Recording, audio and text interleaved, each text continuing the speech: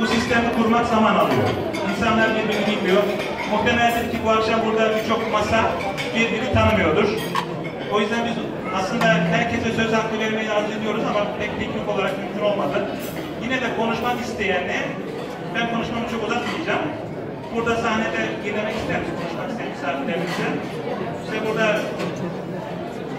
yani kim arzu farklı başkanımız veya e, diğer misafirlerimiz, onları da burada görmek isteriz.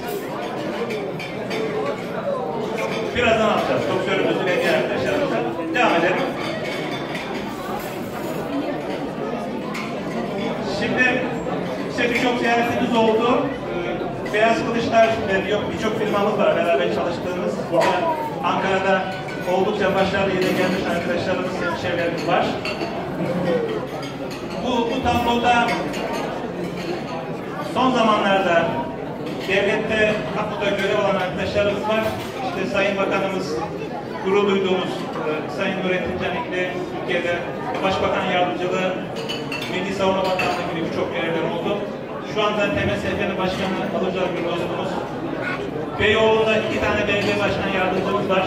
Karagümrük'ten de dolu. Sonra iki tane arkadaşımız genel müdür yardımcısı. Ee, Züleyha Bey'den Tarık Kredi Genel Müdürlüğü'nün hukuk müşaviri.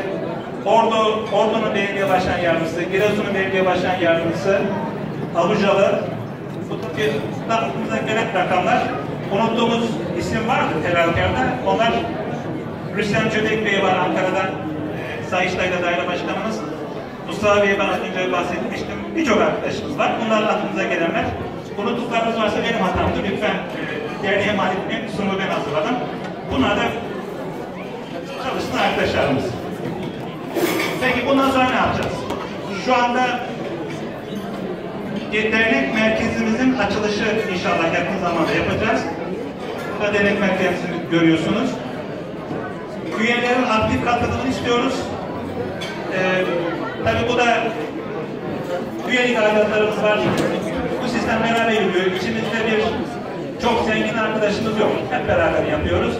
O yüzden affınıza sığınarak az önce kısmen takıldım ama e, iftar ücretini paylaşmıştık. Kişi başı 35 lira. Güzel bu arkadaşlardan bunları istiyoruz. Ee, Afiyet olsun. derneğin tanıtımı konusunda şimdi arkadaşlar zarflara dağıtıyor. Üzerine isimlerinizi yazın arzu ederseniz. Ona göre şey yapacağız. Dernek merkezimizi kiraladık. Bu akşam iftardan sonra vakti olan arkadaşlarımızı burası Altın Park'ın karşısında son derece ulaşım kolay. Orada inşallah ağırlamak isteriz. Çayı temsil isteriz. Arkasından devam edelim.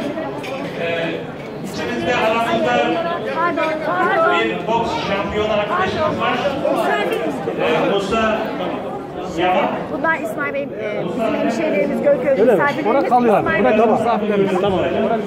Ayrıca benim köyümden Belen köyündeki İbrahim Belen, o da İbrahim Akgıcı.